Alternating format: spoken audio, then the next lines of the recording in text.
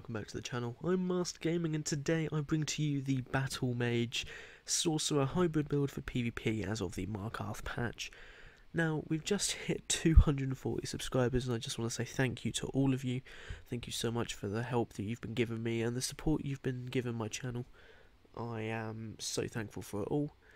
But let's get right into the video. Now, as you can see, we're running 16,000 max magicka 19,000 maximum health and 30,000 maximum stamina. We've also got 4.7k spell and weapon damage, with 800 magic recovery and 990 stamina recovery. We are a orc with 64 points into stamina, and we're running the Warrior Mundus with spring loaded infusion tri-stat drink, which increases all of our resources by 3.6k. Now let's go into the gear. We're running the Witch Knight set as I showcased in my last video on the Snipe Blade. We're running this in Nirnhoned, a maul with a poison glyph on it. What this does is it adds 129 weapon damage, more weapon damage, even more weapon damage, and adds even more weapon damage against enemies afflicted with poison. On the back bar, we're running a Witch Knight's Resto Staff with charged and poison damage, just so we can trigger that 5 piece. On the head, we're running a heavy Molag Kena's Visage in Divines and Max Stam. And we're running the Pelinal's Aptitude set. Now, what we're doing with this set is to make it so we are actually a hybrid build.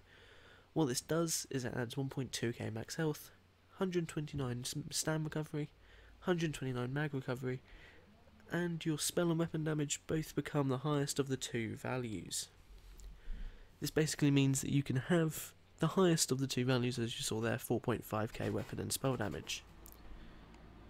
We're running this chest piece in medium infused with max mag. We're running Balorgh's one piece to drive our weapon and spell damage up even higher, with Divines, Stamina and Light. We're running Pelinal's medium belt in Divines with max stam. Pelinal's braces, medium, Divines, max stam. Pelinal's guards, medium, infused, max stam and Pelinal's boots, medium, divines, max stam, with the Witch Knight's jewellery all in infused and in more weapon damage. Now let's move on to the skills. For our front bar and our maul bar, we're running a Dizzying Swing. As you can see, we've got a massive tooltip of 13,000 there. We're running Executioner, which is our default execute. We're running Critical Surge to increase our healing and to increase our weapon and spell damage by 20%. This is our main damage booster.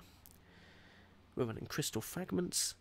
This ability is one of our secondary main bursts. And we're running Haunting Curse, which deals 11k after 3.5 seconds. So this is a nice burst ability. Tie these two in together, they work very nicely. And we're running Ice Comet with a really high tooltip of 21,000, which stuns the enemy and reduces their movement speed by 50%. Now on our back bar for our resto bar we're running rapid regeneration, which increases our health, which heals us for 16,000 every 5 seconds. Hardened ward, which is basically our shield for the Sorc. Hurricane, which is our resistance booster that costs stamina. Degeneration, which is the Mage's Guild damage over time ability that gives us major sorcery, although that's not really needed. It's just a nice dot. And Inner Light to increase our mag and our back bar. And life giver as an oh no button, just in case we need to heal really urgently. Now on to the champion points. On the tower, we're running 30 points into Warlord. Up next on the Lover, we're running 75 into Mooncalf, 75 into Arcanist, and 30 into Tenacity. 60 points into Tumbling, 40 points into Elfborn and Elemental Expert. We're running these because it's a hybrid build, so we do really need to make it so our points are spread out evenly to help our help us boost our damage for our magical abilities too. 60 points into Master Arms, 50 points into Precise Strikes, 30 into Piercing, and 50 into Mighty. 60 into Ironclad, 60 into Resistant, 55 into Hardy and Elemental Defender, and 40 points into Thick Skinned. Now, on the dueling footage in the bottom right hand corner, you can see that I was fighting not AK with this build. He's on his Stam Sorc, and I'm on my hybrid, and I do a lot of damage. I do lose, but that's because this build is quite squishy. So if you wish, you can swap out the light piece for a heavy bit, just so you're running 5 medium to heavy, or if you're not too fussed about the 15% weapon damage, you can just run 5 heavy pieces. It doesn't really matter. You'll still get the same amazing results, you'll hit so so hard, and I think you will all enjoy this build.